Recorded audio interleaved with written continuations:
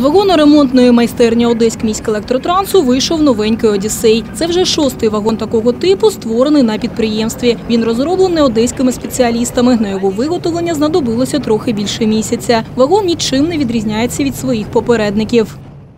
Это стандартный э, Одиссей э, с ну, системой управления электронной, э, со стеклопластиковым салоном, со своим уникальным дизайном. Одіссей є зручним для маломобільних груп населення. В нього низька підлога, є пандуси та ремені для кріплення. Вагон також отримав світлодіодну інформаційну панель та звукове сповіщення про зупинки. Крім того, в Одіссеї є й інші переваги.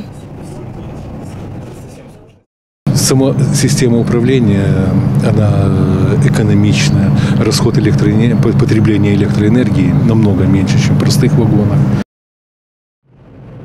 Цьогоріч планують закупити 5 кузовів для вироблення аналогічних односекційних трамваїв. Зараз на підприємстві готують і новий трисекційний Одесей Макс.